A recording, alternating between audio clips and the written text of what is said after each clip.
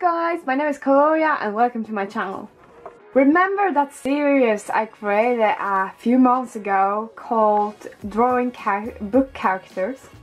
First episode I drew Mare Barrow from uh, the Red Queen series and yeah, today I decided I need to continue that series. I had so much fun with doing that series, like reading this those character descriptions, just like reminding myself how they look like and I could visualize, visualize them. Last time I did that thing um, my first episode I drew, I colored the drawing with markers but today I decided I would want to do something else like you see like that I use really much markers on this channel but I want to use something else just like go somewhere else some I want to try something new I want to do something I have never done before or something I am really bad at. So yeah. As you see here I have sketched my drawing on watercolor paper. And yeah. So that means we are going to do some watercolor painting today. And honestly I'm really really bad at watercolors. I'm bad at like everything with watercolors but I want to learn it. So I think that practice makes perfect I haven't mentioned who I'm going to draw. Today I'm going to draw Hermione Granger from Harry Potter. I am a really really big fan of Harry Potter. Uh, I love the movies, I love the books, I have read them like thousand times. So I thought, hi, let's make Hermione Granger.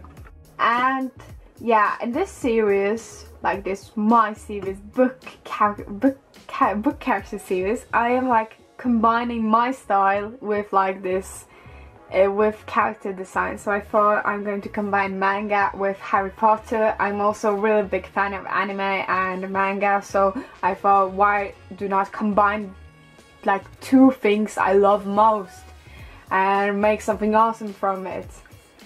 And also make a challenge for myself with painting with watercolors.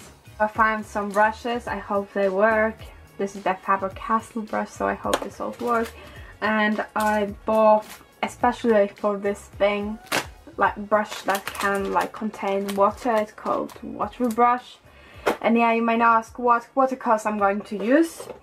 I'm going to mainly use uh, Faber-Castell watercolors. Everything is from Faber-Castell. And I'm going to use Faber-Castell watercolor pencils. Uh, this is the Albrecht Dürer Magnus pencils and they're like uh, thicker than the normal Albrecht Dürer and yeah. And this uh, brush is from this set, this set, so yeah.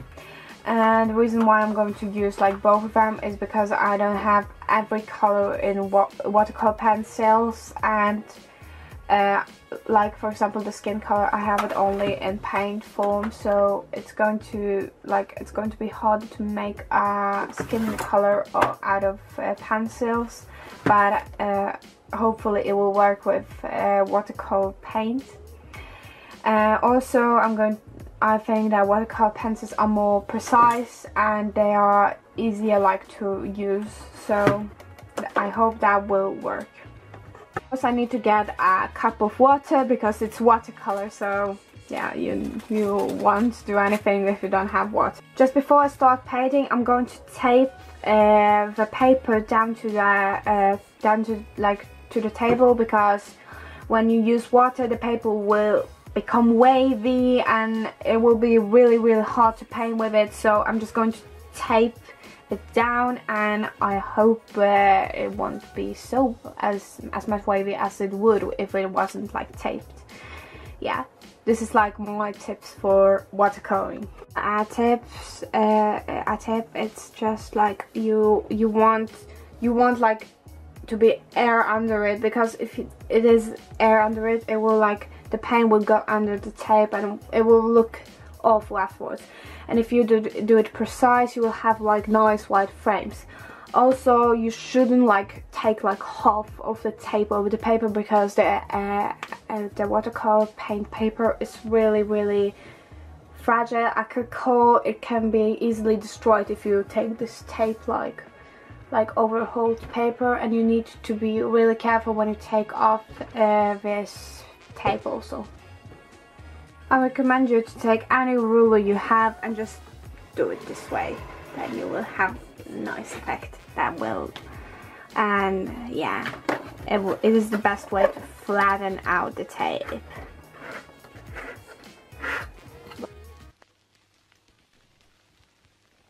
We are the music makers, and we are the dreamers of dreams.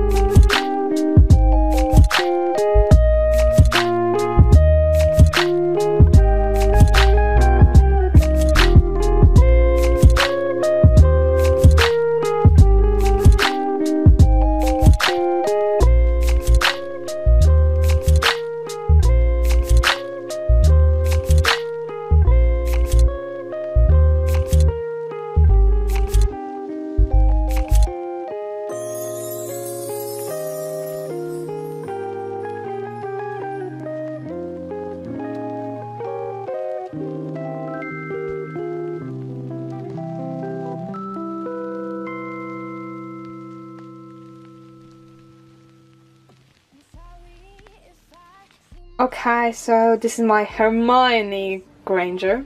I don't know what to say about this picture. So let me tell you what I did. So basically I thought that she's in Gryffindor so she need to have like this Gryffindor scarf and I thought that it's October right now outside so I'm going to do like more winter look. Uh, give her like more winter style. Uh, I painted her, her hair brown because she has like this blonde brownish hair so I thought this will be like okay. Brown eyes of course, she has brown eyes. And yeah, what to say more about it. It was like really challenging because I'm not good at watercolor. But I'm really happy for the effect I got on this picture. In life it looks much better than on the camera because everything in life looks much better than on the camera but it's okay.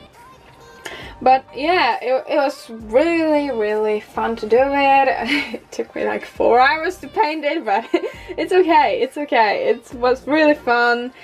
It was like, like I learned really much. I thought that after, after a while I did this, it, like my watercolor skills got better and better. So this is my recommendation for you. Just practice it, practice, practice, and then you will reach the perfection. So yeah, that's all for uh, that's all for today. On my Amino art, I'm going to make a poll and ask you which person, which book character I'm going to paint or draw or whatever uh, uh, do in the next episode. So yeah. I hope you liked this episode. Go and check out my Amino art. Remember to hit that subscribe button and click the bell to all get the notification and leave a like because that really motivates me. Okay, bye bye!